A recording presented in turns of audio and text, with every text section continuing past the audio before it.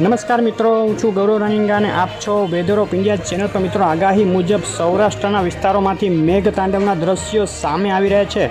દક્ષિણ, પશ્ચિમ સૌરાષ્ટ્ર અને રાજકોટ જિલ્લામાંથી પણ મેઘ તાંડવ અતિ ભારે વરસાદ, જળબંબાકારના દ્રશ્યો આવી રહ્યા છે. જામકંડોણાની આસપાસના વિસ્તારોમાં ઉપરવાસમાં અતિ ભારે વરસાદ પડતા જામકંડણા અને ગોંડલને જોડતો ફોફળ નદી પરનો પુલ ભારે પ્રવાહમાં તણાઈ ગયો હતો, તૂટી ગયો હતો અને તણાઈ ગયો હતો. તેના દ્રશ્યો સામે આવ્યા છે, લાઈવ દ્રશ્યો.